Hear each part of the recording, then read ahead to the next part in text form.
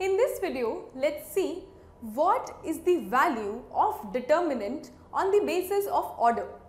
We know the order is of a square matrix only in case of determinant and the square matrix that we deal up till now is maximum till 3 by 3 order. So we have three videos line by line. This video is dedicated to determinant value of the order 1. In the next video, we'll be seeing determinant value of the order 2 and in the subsequent video then we'll be seeing determinant value of the order 3. This video is dedicated to determinant value of the order 1. Let's see what is the determinant value of the order 1. Now we know that order 1 means what? It means order 1 by 1 and 1 by 1 means what? It means 1 row and 1 column. So any matrix which has only 1 row and 1 column means what? It is a single row element. There is only one element in that matrix. That is what we mean, uh, what we mean by that, right? So if the matrix is such and we have to find out the determinants of those kind of matrices with order 1, then what happens?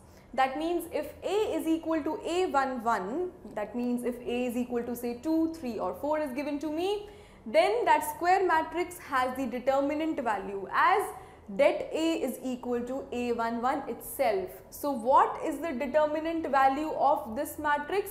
It is definitely equal to A11 only. So if I say that A is a given matrix of the order 1 by 1 with the element 2, then det A in this case will be 2 only. That is as simple as that.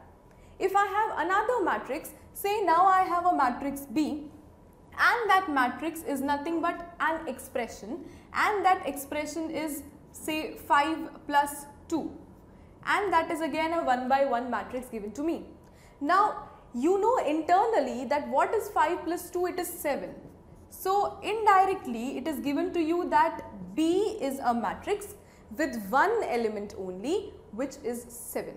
Now if you ask that what is det B or what is determinant of B. So det B can be written in both ways you know that is nothing but this element itself. So it is 7 only that is the answer and the answer here was 2 only. So in this video we saw a very simple subtopic that means what is the value of determinant when the order of the square matrix is 1 and in such cases when the order is 1 the determinant value is the element itself.